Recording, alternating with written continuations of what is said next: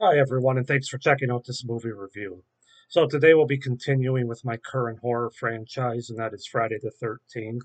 Uh, we're up to the fourth movie in the franchise, which is Friday the 13th, the final chapter. Uh, right here on the on the eight disc box set that I have here.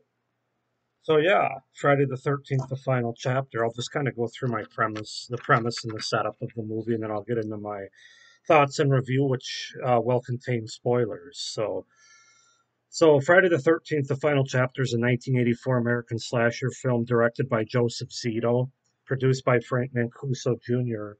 And the movie stars Corey Feldman as Tommy Jarvis, Kimberly Beck as Trish Jarvis, E. Erich Anderson as Rob Dyer, Barbara Howard as Sarah, Joan Freeman as Tracy Jarvis, Peter Barton as Doug, Crispin Glover as Jimmy, and Julie or Judy Aronson as Samantha.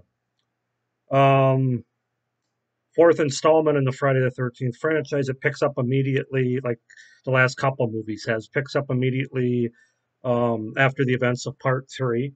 The plot follows a presumed dead Jason Voorhees, who escapes from the morgue and returns to Crystal Lake to continue his killing spree. Uh, the film marks the debut of the character of Tommy Jarvis, who's played by Corey Feldman in this movie who would make fur- and he'll make further appearances in the next two sequels, establishing him as Jason's archenemy. Uh, so we began the night after the events at Higgins Haven from Part Three. Police clean up the grounds, and Jason Voorhees' body is believed was believed to be dead is taken to the morgue.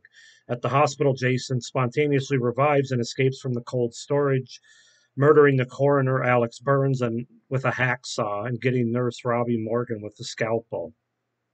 Or gutting, I should say. gutting uh, nurse Robbie Morgan with the scalpel. The following day, a group of teenagers drive to Crystal Lake for the weekend. The group consists of Paul, his girlfriend Sam, Virgin Sarah, her boyfriend Doug, Awkward Jimmy, and Jokester Ted. On the way, the group comes across Pamela Voorhees' tombstone and a hitchhiker who is soon killed by Jason. So um, that's basically the, the beginning, the setup of it. Um, obviously, Jason's back. They thought he was dead. He's still alive um, back at Crystal Lake. And with these teenagers arriving, you can uh, probably guess what uh, what happens uh, during this movie. I'll try to fix my lighting a little bit there. That's a little better, I think. Um, so yeah, as far as this movie goes, my thoughts about it. Um, again, I hadn't seen this movie for a long time. Friday the Friday the Thirteenth, the final chapter from 1984.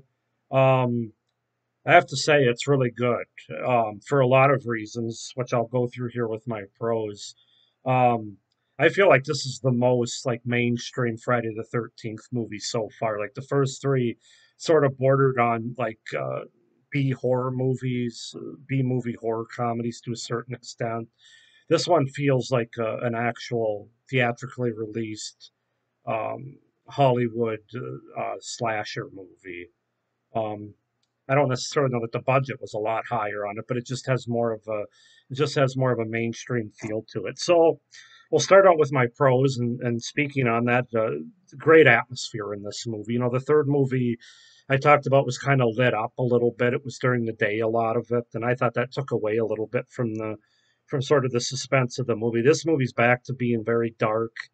Um, I think it's the darkest and most claustrophobic in terms of most of the movie taking place in the dark or at night the claustrophobic part. So that this is the first movie in this franchise that's just had this feeling where it all takes place at Crystal Lake. There is no town. There's no like.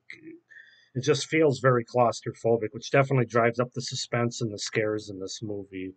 Um, once again, great Jason in this movie. Maybe the best Jason, this time played by Ted White. Richard Brooker was a great Jason in part three. This this Jason might be even better, certainly just as good. Ted White does a great job. He's very brutal with his kills, very menacing in this movie. Just a great, great portrayal of Jason. Uh, what really makes this movie better than the previous three, especially one and three. Two kind of had some of this, but this this movie by far has the best characters. Um, like the teenage characters, the older characters are all memorable. They all have their own quirks. They're entertaining. They're you can tell that, that they spent more time writing these characters instead of just throwing out the jock and the the virgin and the you know the awkward kid and even though we have some of that in this movie but the, the way the characters are acted as well as the way they're written they're, memorable they're the characters have much more staying power in this movie you actually care about them uh, when they're killed to a certain extent so yeah, definitely a, a, jump up, a step up with characters um, aside from Jason. Uh, Got to talk about Corey Feldman, who's very young in this movie. Plays Tommy Jarvis, the first of three portrayals of this character, Tommy Jarvis. Um, he gives a really good performance, especially as a kid actor. I'm not sure how old he is in this movie. I'm guessing probably around 12 or so. Um, but but yeah, he introduces this character is really introduced well. He portrays it well, especially at the end when he goes when he goes ape shit and shaves his head and starts chopping at Jason and saying "die, die, die" over and over again. Um, yeah, just very believable, very good performance by Corey Feldman in that character. Um, great kills. I, I think that this movie is has the best kills so far. The first four very brutal, very violent and gory. They don't hack up the. They actually show the gore in the movie, unlike some of the previous movies. It's not as hacked up by the MPAA as some of the previous movies were. Um, yeah, the kills are creative. They're great. They're, like I said, just Jason's kills are brutal in this movie, and it definitely adds to the suspense. Um, this movie it just has a great tone to it. Um, unlike some of the other movies, it's more dark and serious. I mean, there is humor in this movie. I'm not sure all of it was intentional uh, by the director and the producer and the writers, but there's definitely humor in this movie. It's not a hopeless movie, but it's definitely they didn't make this movie to be a comedy or to be sort of like a, a cheesy, campy comedy. This is this is probably the less cheesy of the of the first four films so far very dark and serious tone. Um, not quite as a B horror movie or B horror comedy as some of the others, as I mentioned earlier. Um, so that's definitely a plus in my book. Um, the movie's actually scary. You know, the first three movies had suspense to them, especially with the POV shots in the first couple. But this movie's actually is actually damn right scary. I mean, you can watch it at night with all the lights off, and I mean, Jason's actually scary in this movie, not just suspenseful like the other movies were, but it's but it's actually there's actually scary parts to this movie, and um, so that's awesome. Awesome practical effects with the, the return of Tom Savini in this movie. Um, you can tell he returns. Just great, great gore effects, great practical effects throughout this movie. Once again, great music and a great score that helps ratchet up the tension. You got to talk about Crispin Glover in this movie. Um, I actually think he's a really good actor. I know he's kind of weird messed up in real life, or at least I shouldn't say messed up, but he's he's just kind of quirky and weird in real life and turns a lot of people off. But the movies that I've seen him and he's really good. And this movie with the whole dance scene that he does is great, and just the way he plays the awkwardness of his character. I mean, he, maybe he's like that in real life, so it wasn't too big of a stretch. But he was definitely one of the best characters in a movie that had a lot of good characters. And the the big the biggest pro, the last pro, is the fact there's no dream sequence at the end of this movie. Yeah, the first three movies, of course, did the whole dream sequence at the end and copied, basically copied the previous film in doing it. They don't do this in this movie, although I guess I read that they were planning on it and they scrapped it. Thank God. Um, I'm even not as bothered by the sort of at the beginning of the movie when they sort of rehash what's happened before. I think they execute that better than the previous three movies, where they kind of go through how how we got here, basically. Um, where they use um, I can't think of his name, the guy from Part Two, uh, Paul, is it? Yeah. Um, where he's talking around the campfire about Jason, and then they show different scenes with, when he's talking. I actually didn't mind that as much as the previous three films where they rehashed the previous movies.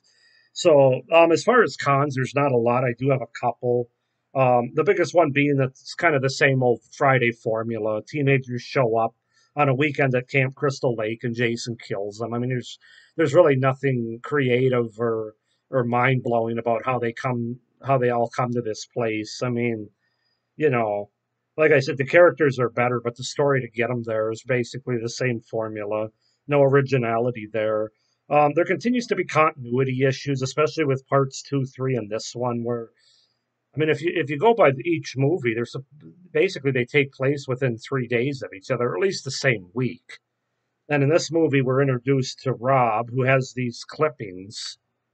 Um, or actually, he doesn't have the clippings, but where he talks about he had a sister in part two that was killed. Well, Jesus, that guy really. Part two is two or three days ago, or most a week ago, according to these movies. So, yeah, there's just some. I don't think this franchise cares a whole hell of a lot about continuity. you know, um, that's one thing I think I realized with these first four movies. So, you know the newspaper clippings that Tom Tommy Jarvis runs into and the whole backstory with Rob's sister. Those are just some kind of continuity issues. Um, at least with parts two, three, and this one. I don't. Speaking of Rob, I don't think his character was great. You know, they kind of introduce him in this movie. He's going to be a badass and finally take Jason out, and uh, he really doesn't do much. You know, he has this tent in the woods and this machete, and but he ends up getting killed, and he's not very well acted. I mean, in the part in the basement where he's like, "He's killing me! He's killing me! Run! He's killing me!" I mean, it's totally overacted and just silly dialogue. Um, so that character, I wasn't crazy about. And then uh, my last, it's not really a con, but what the hell was with Jason's black fingernails or his black fingers or hands in this movie? Um, is it is it because he's, he's supposed to be have been under the water for so long that his skin, his fingers are turning black? I mean, I just don't know where that came from. I don't remember that. If I forgot about it in the last movie, point it out in the comments. But yeah, overall though, guys, there's not really a lot of cons about this movie. This is this is definitely a great Friday the Thirteenth movie, a great slasher movie, a great Jason movie, the best of the series so far, being four movies in. I know we have eight to go. Uh, but I can see why why people praise this one. They have it as their favorite or near the top of their favorites. Um, I have a feeling I will as well. I'm going to give this movie a nine out of ten as far as my rating goes. Nine nine out of ten.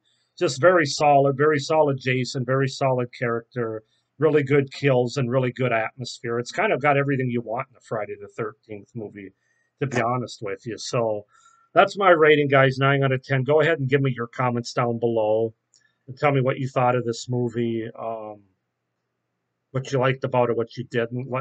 Please like this video, subscribe to my channel to see future Friday the 13th uh, movie reviews, as well as my ranking for all the movies at the end of the month, and other reviews that I'll do on standalone movies. So thank you for watching this video. Have a great day. Bye.